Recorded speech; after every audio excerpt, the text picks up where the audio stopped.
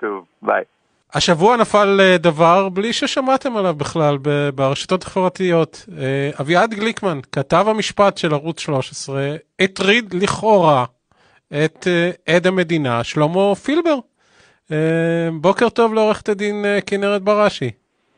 בוקר טוב, בוקר טוב אלי. אז אני אספר קצת אה, רקע, שלמה פילבר כבר אה, חודשים ארוכים אה, מצייץ בצורה אפילו יותר ממרומזת על כך שלא רק תפרו תיק לנתניהו, תפרו תיק גם לו, לא, אחרי שניקו את כל סביבתו מעבירות, לא הוגש נגדם כתב אישום.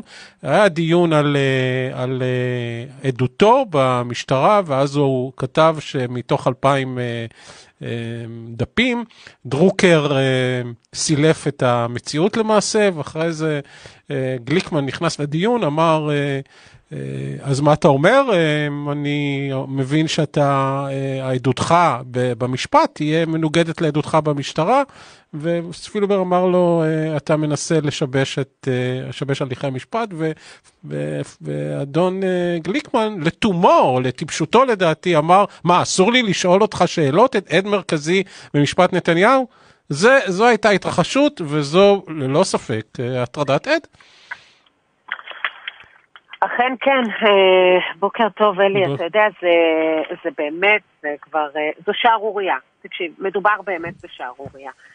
אה, לא בגלל שזה שלמה פילבר, ויכול להיות שזה גם היה, אם זה היה הפוך, זה היה בדיוק, הרי אנחנו זוכרים את השיחה שעשה אה, אה, בנימין נתניהו לעד שהוא חבר שלו רק כדי להגיד לו חג שמח, דבר אגב שאפשר לבדוק אותו בקלות, וסתם אה, ספין מכוער של אה, מנדלבליט, שוב, אליעד בן ארי, כאילו להפוך את הדברים אה, לדברים שנעשים אה, שלא כדין, והנה אנחנו מוצאים את אביעד אה, גליקמן, פשוט מה שנקרא מהמקפצה, מטריד עד, והעד אומר לו, אתה, אתה, אתה משבש משפט, זאת אומרת, אתה, אתה פשוט מאוד, מה שאתה עושה כאן, והוא אומר לו, ב, ב, ברחל בתך הקטנה כתוב שם, רביב דרוקר משבש את כל העדות שלי. זאת אומרת, הוא מנגיש לציבור עדות לא, לא נכונה. הוא לוקח, הוא עושה מישמש מכל העדות שלי, מדובר באלפיים עמודים, תקרא, ת, תלמד אותם ואחר כך תבוא ו, ו, ותגיד את הדברים. שואל אותו שם עוד איזה איש תקשורת, אה, גם שלא מבין חצי דבר אה, במשפט, אומר לו, אני יכול להיכנס לעדות, יהיה מעניין לשמוע אותך? הוא אמר לו, אתה גם מוזמן לקרוא את כל האלפיים עמודים, תבקש את זה מרביב, מרביב דרוקר, וגליקמן לא מפסיק אותו כתב משפט שאמור להיות לו באמת ידע בסיסי, מינימליסטי במשפטים. מינימליסטי, אתה יודע מה? גם אשתו היא דוברת פרקליטות, זאת אומרת איזושהי התייעצות קלה עם האישה רגע לפני שאתה מצייץ את עצמך, רושם לו, מה, אני לא יכול, אני שואל עד מרכזי בפרשת נתניהו. טוב, זה באמת, זה, זאת אומרת, זה פשוט לכתוב את הדברים ורק להנגיש אותם למשטרה, לפתוח בחקירה נגד החבורה הזו. באמת, נגד החבורה השלישייה הזאת, שנקראת uh, כתבים ופרשנים uh, מטעם עצמם, uh, ופשוט לראות מה קורה שם, מה ההתנהלות הזאת. לא יכול להיות שבאמת תהיה כזאת הטרדת עד, גם לא ברשתות חברתיות ובשום מקום. אני לא חושבת שהוא uh, uh, יכול לעשות את זה, וזה יעבור מתחת לרדאר. כותב לו, פילבר אומר לו, אתה עושה את זה. זאת אומרת, אין כאן יותר מוחשי מזה שהוא מטריד עד, אוקיי? כן. וכמובן שכשאני כותבת את זה, אז uh, הוא שולח את כל הכלבי שמירה שלו לכתוב איפה הטרדת עד, מה את מבינה, מה את לא מבינה, משפטים, לא משפטים. אולי תקראו, אולי תפתחו את הראש, אולי תבינו, אולי תרצו להחכים טיפה פחות, באמת לקחת את, את, את אוסף השטויות שמדבר אביעד גליקמן ולהדהד את זה כל כך ולחשוב שמזה אתם תצאו חכמים. אתם לא תצאו חכמים, אתם תצאו ברורים. אתם צריכים לקחת חומרים וללמוד ולהבין ולקרוא חוק ואולי לקרוא פסיקה. אתה יודע, כתבתי את זה גם בקבוצה של עורכי הדין. זאת אומרת, מה יותר מזה? מה יותר מזה שאתה באמת מצפה מעורכי דין באמת להסתכל על המציאות ולהניח בצד את ה... את הכן ביבי, לא ביבי, מפלגת לך או דמוקרטיה, ואז אתה מסתכל ואתה רואה תגובות של עורכי דין, ואלה שעם התמונת לך אומרים לך זו עבודה עיתונאית. זו עבודה עיתונאית, כותבת את זה עורכת דין, זו עבודה עיתונאית. אין יותר מזה, באמת אין יותר מזה לאן הגענו, לאיזה לתחתית הגענו, איך אנחנו מנהלים משפטים פה במדינת ישראל. זה, זה פשוט חרפה אחת גדולה. חרפה אחת גדולה. אגב, אני, אני, כאילו אני מנכ"ל חדשות 13, לוקחת את אביעד גליקמן לשיחה ואומרת לו, תקשיב חביבי, לפני שאתה מצייץ את עצמך לדעת ברשת, אתה מייצג אותי, את חברת החדשות של 13. אנא ממך, קרא את החומר הנלמד. תשאל אנשים ברי סמכה, יודעי דבר, מבינים במשפט. מה זה, זה, זה פדיחה אחת שלמה לערוץ, באמת, אני לא, אני לא צוחקת. זו פדיחה אחת שלמה לערוץ. שהוא יושב וכותב את עצמו עכשיו. אין ספק שאותם אנשים שנורא רוצים, נורא נורא לא מעניין אותם משפט ושום דבר, והם לא מבינים שום דבר וכלום, והם רוצים רק להדהד את השטות הזאת שלו, רק כדי להוציא כאילו לכאורה את פילבר, אה, או את כל מי ש... או, או את נתניהו, או לא משנה מי רע, או, או ובטח אותי. אז זה כבר לא משנה. זה עובדתית, זה לא משנה. בוא, נ, בוא נדבר משפטית. משפטית נעשתה פה עבירה. צריך לבדוק את הדבר הזה, יש פה חשד לביצוע עבירה של הטרדת עד, צריך לבדוק את זה. אבל מי יבדוק? מי יבדוק כנרת? הוא מוגן, הוא יש לו חסינות. ברור, ברור, נכון. ברור שהוא מוגן, תאר לך שבאמת, בוא, מנדלבליט תשמע שרוצים לחקור את אביעד גליקמן, אוי ואבוי שומו שמיים, באמת, מה הוא ייתן דבר כזה לקרות? הרי בחיים זה לא יקרה. הנה, עכשיו אני באמת uh, מקליטה את הפודקאסט uh, שלי השבועי עם אה, עורך דין דוד פורר ועורך דין אה, ציון אמיר. היום אנחנו נדבר על פרשת רות דוד. אנחנו רק נוכיח את הדברים האלה. אנחנו נוכיח אותם הלכה למעשה איך באמת הדברים האלה מתרחשים ואיך קורים ואיך יש פרוטקציונרים בתוך המערכת הזאת ואיך אדם שהיה עושה דבר כזה היה מוצא את עצמו בחקירה. אני זוכרת שלקחו טלפונים, אני מזכירה לך, לקחו טלפונים של, אה, אה, של היועצים של אה, ראש הממשלה. אני מזכירה.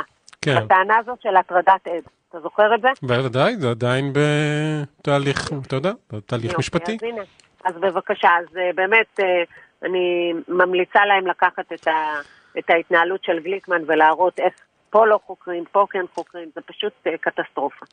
פשוט כן. קטסטרופה. כן. כנרת, אני רוצה, רוצה לעבור איתך ל... אני יודע שאת לא אוהבת לדבר על זה כי את uh, מיודדת עם אפי נווה, אבל בכל זאת uh, ההחלטה מאוד מתקרבת, היא הייתה אמורה ליפול uh, השבוע, ולפי כל הסימנים שהפרקליטות uh, מפזרת, היא תרד uh, סולם, uh, כנראה, או שתסגור את התיק, לפחות לאתי קרייף, uh, שהתחייבה לפרוש, כבר כתבה מכתב. כל ההתנהלות פה היא אולי טיוח למעשיו של שי ניצן, למעשה. זה לא טיוח, זו סחיטה.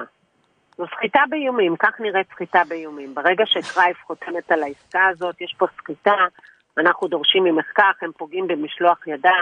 הם, אה, תראה את ההגדרת חוק, אה, החוק, אתה תבין את זה לגמרי. הרשויות פה משתמשות ועוברות פה על החוק. אה, ברגע עכשיו כולם יבואו ויגידו, רגע, אבל זו עסקת טיעון, אז מה, כל עסקה זה סחיטה באיומים? לא, יש פה שאלות כבדות משקל, יש פה שאלות של התנהלות לא חוקית של אותה רשות, שי ניצן עמד בראשה, שי ניצן ביקש לסגור חשבון עם אפי נווה, אפי נווה אמר והודיע קבל עם ועובדה, מה שנקרא, בתוכנית עובדה, שלשכת עורכי הדין בראשותו לא תתמוך בשי ניצן להיות אה, אה, שופט עליון. אפי, אה, שי ניצן עשה כל שביכולתו, לא עניין אותו לא ימין, לא שמאל, לא ברמה הפוליטית, אני מתכוונת ברמת האנשים שעברו דרכו. הוא פשוט עבד כמו איזה שואב אבק קירבי לא חוקי, ושאב לתוך, ה, לתוך האגו שלו את כל, ה, את כל, ה, את כל בדל איזשהו שקר שהוא יכול לאסוף כדי לעצור את אפי נווה ולהשפיל אותו. אה, אפי נווה מנהל את המאבק שלו, וכן, אני אומרת את זה בתור אה, מקורבת אליו, אפי נווה מנהל את המאבק שלו. אני רוצה להגיד לך משהו אחד, במדינת ישראל, אם אתה לא מנהל את המאבק שלך, אף אחד לא ינהל אותו. לאנשים פה ולאזרחים פה לא אכפת איך המערכת הזו עובדת. בצר לי מאוד אני אומרת את זה. הם לא חושבים על היום שאחרי, איך הם ייתפסו על ידי המערכת הזו ברשת שלה, ומה המערכת הזו תעשה להם. וכ... ולא אכפת להם. אז אפי נווה לא צריך להתחשב באף אחד אחר, הוא צריך לנהל את המאבק שלו. מצד שני, הייתי מאוד מאוד רוצה שהקלטות האלה ייחשפו. אני יכולה להגיד לך שהקלטות ייחשפו. הן ייחשפו. ייחשפו? ו- גם אם, ייחשפו. גם אם התיק של אה, אני אפי, חושב- אני- גם אם אני- התיק של אני- אפי נווה ייסגר? אני חושבת שכן. אני באמת? חושבת שכן. אני חושבת שכן. תראה, אה, מנדלבליט ושי ניצן הרסו לאפי נווה קריירה מפוארת. מפוארת. על כלום. אוקיי? הם יכלו, אתה יודע, יכול להיות שיכולה לעלות איזושהי ביקורת על אפי נווה, אבל ב... לעניין המינוי של השופטים, תקשיב, זה פשוט שערורייה. ואתה יודע מה? ובגלל שזה לא תיק שאמור להיות בדלתיים סגורות, הייתי מנהלת אותו קבל עם ועולם, כדי שכולם יראו את האבסורד שחולל פה שי ניצן, השימוש הציני שהוא עשה בפרקליטות שלנו, במערכת אכיפת החוק שלנו, לצרכיו האישיים. כן, אין ספק שהוא, שהם אה, פשוט, אה, שי ניצן עשה סיכון ממוקד לאפי נווה, אבל עדיין, אתה יודע, את צודקת שהוא צריך לנהל את המאבק שלו, כמו כל מאבק, אה, הוא, הוא נלחם על חפותו בצדק, ו, אבל העניין הקלטות, את בטוחה שאחרי שהכל, אה, אם יסתיים, אני אה, מחכים להחלטה, אבל נראה שהם ירדו לפחות מעבירת השוחד השטותית הזאת, הוא, הוא יפרסם את הקלטות שבטוח שיש שם דברים הנוגעים לפי התדרוך של מנדלבליט אה, לתיקי נתניהו. אני, אני אומרת לך שאם הם לא יסגרו לחלוטין את התיק, ועוד איך כן. אל תשכח שאם הם לא סוגרים את התיק, מדובר בהרשעה פלילית. זאת אומרת, אם הוא, אם הוא, אם חלילה, חלילה וכעס, אני אומרת, אם הוא יורשע, וג... ואם הם יסגרו לחלוטין את התיק. אז פחות. כן. פחות. אבל אני שוב אומרת, אה, ההיסטוריה תשפוט את האנשים האלה. כי גם כשהקלטות האלה ייחשפו, כשההיסטוריה תשפוט גם את העיתונאים שיושבים במערכות ומהנדסים תודעה וסותמים פיות לאנשים כמוני, מנסים, כן, אין סיכוי שיסתמו את הפה, בטח לא ליצנים כאלה. אז uh, כש, uh, כשנ, כשנעשים דברים כאלה, אז אתה יודע מראש שגם אם הקלטת תיחשף לא יעשה דבר. לא יעשה דבר. כלום. אז מה זה משנה? אתה יכול להסביר לי מה זה משנה? אני חושב שזה הרי אם- משנה, כי, כי זה יש, את יודעת, יש, יש משנה? נדבך ועוד נדבך ועוד נדבך, את יודעת, יש מסה קריטית אחד- בסופו של דבר. מי יפתח בחקירה נגד היועץ המשפטי לממשלה? מי? הפרקליט מדינה שהוא מינה? הממלא מקום פרקליט מדינה שהוא מינה? מי? מומי למברגר, פרקליט המדינה בפועל?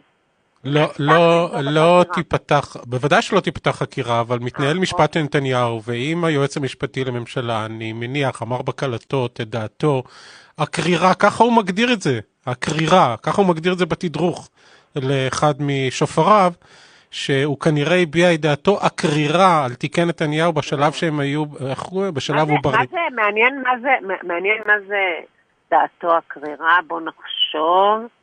מה זה דעתו הקרירה?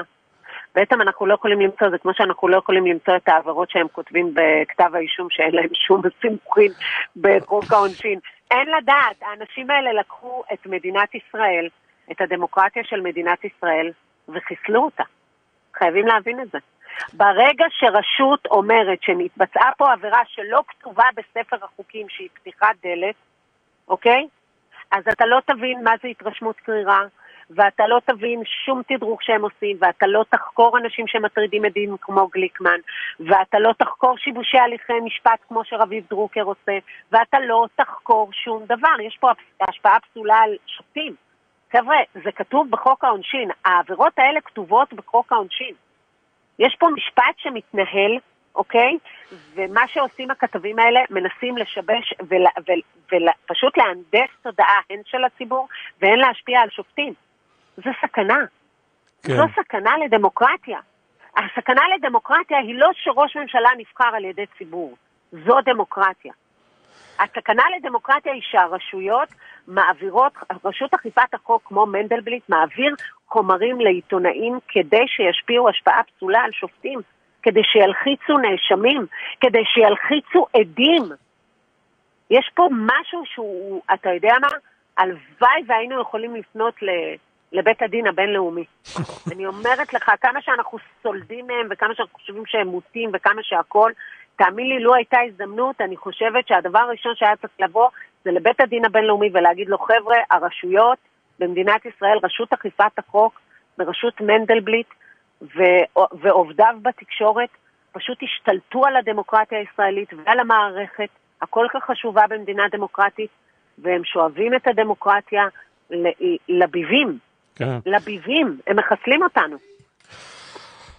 דברים אה, כדורבנות, אני רק רוצה להזכיר שזה לא ההטרדה הראשונה של עד, גם בתוכנית של אה, רביב דרוקר ישב שם גליקמן, והם די רמזו ל, ל, לפילבר שאם לא יישר קו אז הוא יוכרז כעד עוין, ואפילו ייכנס כזה במין רמז. אה, לכלא, הם פשוט... לא, אה, תראה, כן. בוא, בוא, בוא נשים את ה... כן. בוא, בוא נשים הבדל בין פרשנות של חוק, אוקיי? לבין הטרדת עד.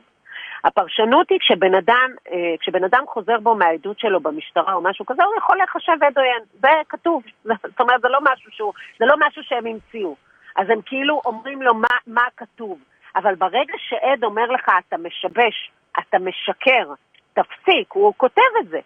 אין יותר ברור ממה שהוא עושה, והוא ממשיך, ועוד הוא כותב בשיא טיפשותו, יסלח לי האל, בשיא טיפשותו, הוא כותב, אני שואל, אני שואל שאלות עד מרכזי בפרשת נתניהו. אז כן, תקשיב, זה, אין יותר זה מזה. זה מביך במיוחד. אין יותר מזה, כן. בדיוק.